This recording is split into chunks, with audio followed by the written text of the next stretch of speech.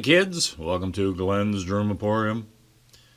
We are uh, still cleaning up the vintage Rogers drum set that I purchased uh, a number of years ago and uh, it was just in storage so I'm finally doing a, uh, a cleaning overhaul on it. Um, as the last video showed um, we were doing the small 12 inch tom and uh, uh-oh our batteries are dying here.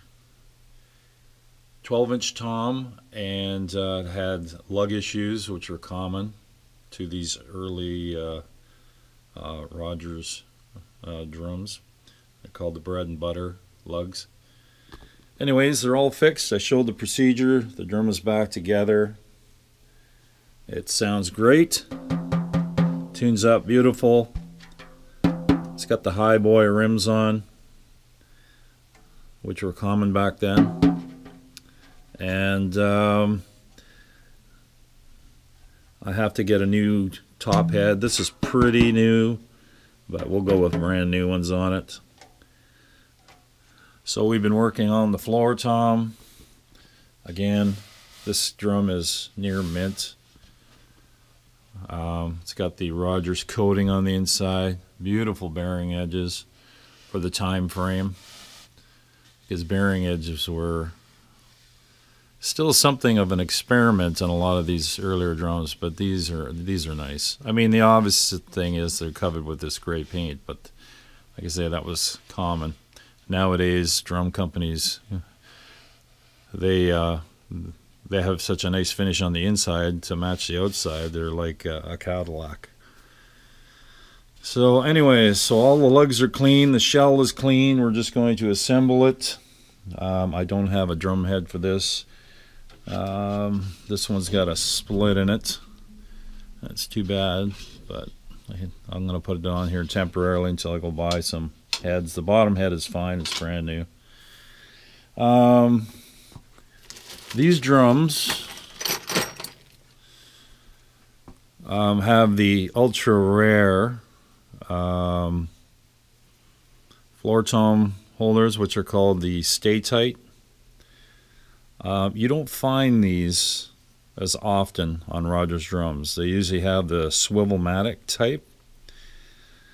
Um, but a lot of drummers, especially jazz club drummers, uh, wanted to tear down quickly, and these were super quick.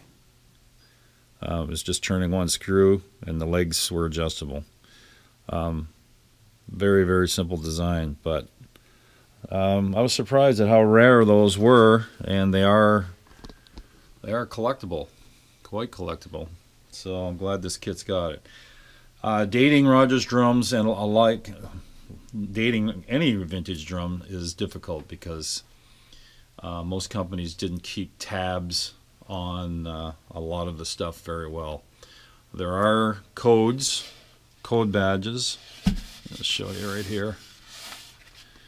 Right there. It's also got an aftermarket stamp you know, from Toronto, Canada, where they imported the drums and they always put their stamp on. So it says uh, RNA Selmer Limited, Toronto, Canada. Um, the drums are manufactured in the States, but they put that stamp on uh, when they were imported. As you can see, the Rogers sticker on here is Cleveland. It's got a serial code of uh, number 40583. Dating this drum puts it roughly in 1962 and 63 area.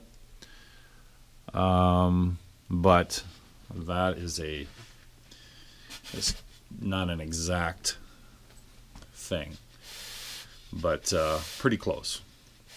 Uh, most most collectors will say that's a good starting point. Um, this here drum, we dated it at 59, if I remember correctly. This is the Spotlight series, and it's got a four digit serial number. Dating it dating that drum into roughly 1959, 58, 59. So the person bought the Spotlight drums, which never came with a floor tom, and then added a floor tom later. Um, you always had the option when you were buying the Spotlight series to add a. Uh, if you wanted a floor tom, you went to the the next model, which was the Holiday. Holiday. So all these drum manufacturers had different models, right? Um, and the Spotlight series came with a snare, kick drum, and a tom, and you just ordered the matching uh, from the other series. Now they switched to these lugs. These are called beaver tail lugs. Those are bread and butter lugs. They went from that to this. Now, Rogers made a one year only beaver tail lug.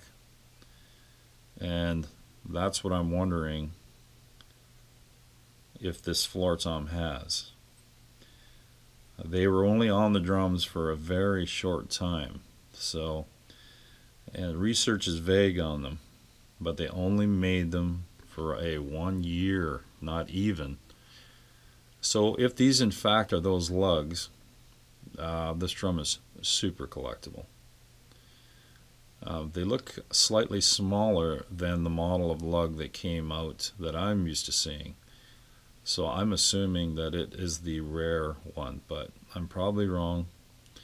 There's a Rogers book I'm trying to to hunt down that documents a lot of stuff, and hopefully they have something on these badges. So if it is the rare one year only beaver tail, then uh, the floor tom is worth huge, huge bucks, especially with the stay tight floor tom leg holders. So don't know for sure, but it's starting to lead that way. So we're going to put it together.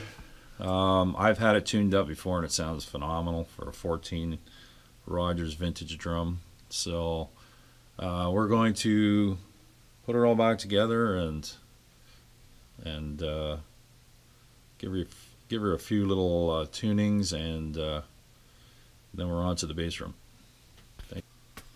Okay, we got the uh, floor tom all done and we have the uh, small tom all done and they sound good. I've got them tuned jazz tuning, which is what I like. And we'll give you a little test here.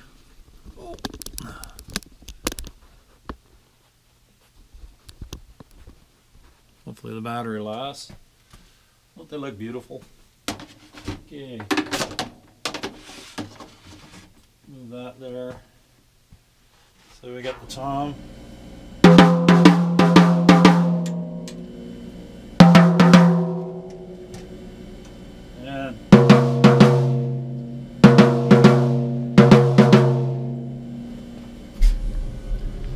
Need a better head. This one's got a little split. And like I say, I'll just go on my foot here.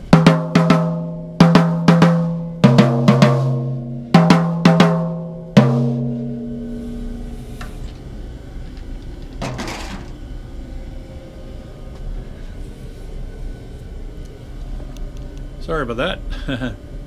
so anyways, that's the uh, two drums right now.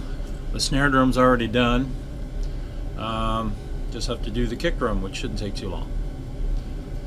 Thanks for watching.